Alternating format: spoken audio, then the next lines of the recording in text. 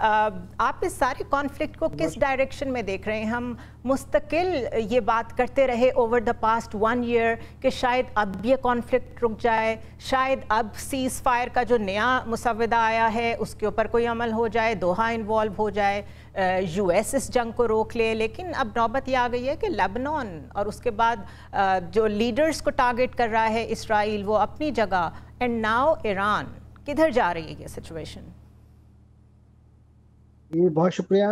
यकीनन आपने जो नक्शा खींचा है इस जंग का और ये उसके वो आप कह सकते हैं यानी तस्लीम शुदा हकायक हैं कि जिनका ज़िक्र करते हुए सही मानों में, यानी कोई भी इंसाफ पसंद बंदा जो है, वो कोई प्लेजेंट फीलिंग नहीं रखता। और बिलखसूस जिस तरीके से अमेरिका ने और उसके सरपरस्त और उसके जो नेपालिक मिडल ईस्ट में उसकी आउटपोस्ट है, इसराइल उन्होंने कंडक्ट किया है इस पूरे वॉर थिएटर को। और अब जिस तरीके से इसका जो स्पेक्ट्रम है, वो वसी करने के हवाले से एफर्ट्स जारी हैं। और बड़ी कैलकुलेटेड एफर्ट्स हैं कि जिसमें वन आफ्टर अनदर जो है, उसके बाकायदा लगता है कि ये अच्छा खासा होमवर्क करने के बाद जो है, ये सारी जो एक्सटेंशन ऑफ़ वॉर जो है, वो देखने को मिल रही है। और इस वॉर का मैं समझता हूँ, जो सबसे तकलीफ़ दह पहलू है, वो ये है कि इसका जो टोल है वो आम लोग बने हैं। उसमें जिन लोगों को नुकसान पहुँचाने के हवाले से जिनकी देख करने के लिए इसराइल ने ये एक ऑल आउट वॉर गजा पे डिक्लेयर की फिर उसको किसी हद तक उसने ड्रैग करने की कोशिश की मकबूजा मगरबी किनारे के अंदर और वहाँ पर भी उसने सात सौ अफराद को जो है वो तहतेक किया। फिर उसके बाद भी उसके इंतकाम की आग ठंडी नहीं हुई तो फिर उन्होंने इस वार थिएटर को जो है लबनान और जो लीडरशिप लेवल पे वो ले गया। हम्म। हमास के रहनुमा को तेहरान में निशाना बनाया गया।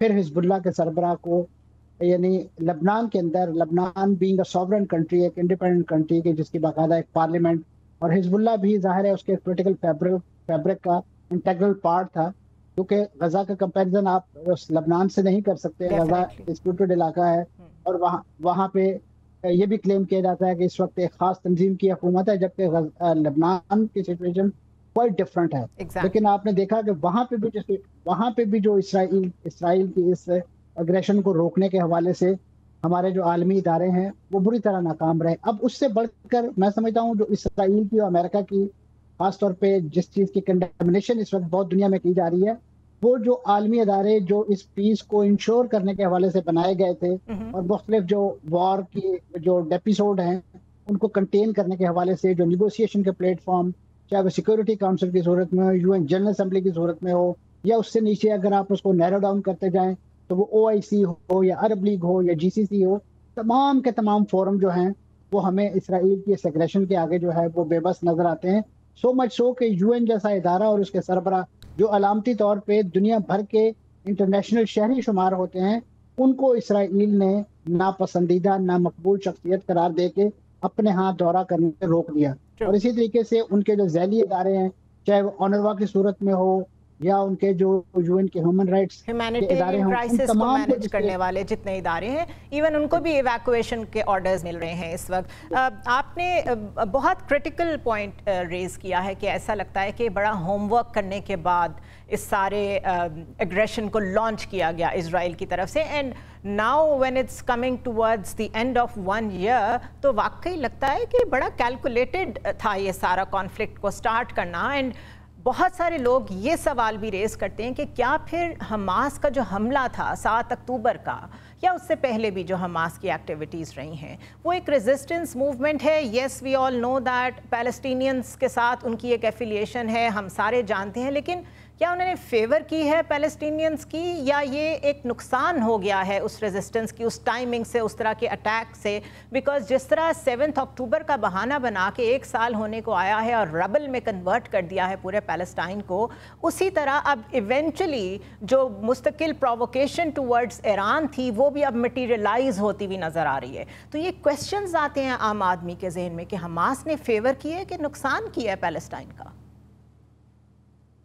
देखिए जी इस बात से यानी एक ओपिनियन है इससे डिसएग्री भी किया जा सकता है मैं समझता हूँ कि हमास की तरफ़ से ये जो सेवन अक्टूबर का जो ऑपरेशन किया गया जिसे उन्होंने अलक्सा फ्लड या तूफ़ान अलक्सा का नाम दिया हम्म। वो बुनियादी तौर पे इस कजिए को जिस तरीके से बैक बर्नर पर डाला जा रहा था और जिस तरीके से खुद गजा की पट्टी को 2007 से ऑनवर्ड दुनिया की एक सबसे खुली जेल की सूरत में जो है वो मुसलसल मुहासरे के अंदर रखा गया था और उस उसके जो लोगों पर अरसा है तंग कर रखा था।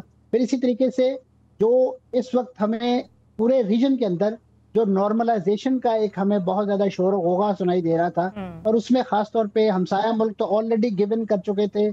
मुख्तलिफ़ डिफेंस पैक्ट चाहे वो उर्दन हो वादी अरबा की सूरत में मिसर जो है वो कैंप डेविड की सूरत में वो ऑलरेडी इसराइल के साथ हम प्याला और हम नवाला थे। तो ऐसी इतलात हमास के पास मौजूद थी जिसका अभी एम्पेरिकल एविडेंस भी सामने आ रहा है कि कुछ खत्े के ममालिक जो हैं उन्होंने अपने नॉन रेजिडेंट सफ़ीर तक जो हैं वो बैतुल मकदस के लिए मुतन कर दिए थे जो इंडिकेशन थी कि some Arab countries are heading towards normalization अब right. हमास के हमास के पास जो है एक तो है कि वो उस नॉर्मलाइजेशन के रॉ में बह जाएँ और किस्सा पारीना बन जाएँ तो उन्होंने अपनी उस एग्जिस्टेंस को या अपनी उस प्रेजेंस को शो किया जो भी उनके पास मिलिट्री माइट और स्ट्रेंथ था जो भी उन्होंने वो, वो सारे का सारा वो उन्होंने की।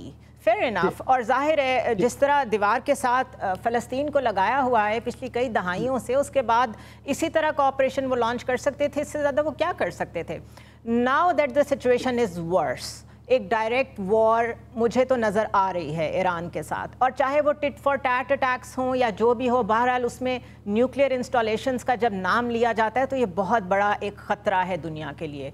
क्या आपको लगता है कि मामला वहाँ तक जाएगा? इसराइल बंकर बस्टर बॉम्ब्स के ज़रिए से ऐसे अटैक्स कर सकता है, जिससे बहुत डीपली एम्बेडेड नुकसान पहुँचे स्ट्रेटिजिकली ईरान को?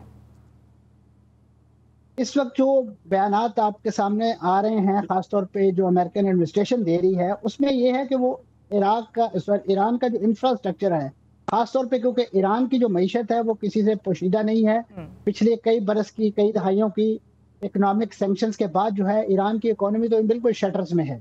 वो ये चाह रहे हैं कि अब जो बचा खुचा उनका एक इंफ्रास्ट्रक्चर मौजूद है चाहे वो ऑयल रिफाइनरीज की शक्ल में है या कोई उनके मिसाइल डेवलपमेंट के प्रोग्राम्स हैं उसको एक लिहाज से टारगेट करें। अभी जो जो बाइडन साहब की जो स्टेटमेंट देखने को मिल रही है उसमें यही इंदिया दिया जा रहा है कि वो बड़ा कैलकुलेटेड और वो उनकी ऑयल रिफाइनरीज तक अटैक तक महदूद रखेंगे क्योंकि न्यूक्लियर के हवाले से ईरान जो है पहले भी उसको इस मामले से रोकने के लिए आलमी बरदरी कोशिशें करती रही है। यूरोपीय यूनियन और खुद अमेरिका ने भी उनके साथ जो निगोसिएशन किए थे जो ट्रंप के दौर में। हम्म। जी जी सारे फेल हो गए। तो मैं समझता हूँ जी जी मैं समझता हूँ कि ये जो सिचुएशन अगर इस तरफ़ जाती है तो ईरान के पास एक जवाब आ जाएगा एक लीगल ग्राउंड फ्राहम हो जाएगी कि देखिए कि हमारे पास अगर न्यूक्लियर होता तो हम पर इसराइल जो है इस तरीके से ना चढ़ दौड़ता हम्म। जिस तरीके से अभी इसने ये सारे हमले किए हैं तो ईरान को अगर डी न्यूक्लियराइज करना है और उसके इस प्रोग्राम को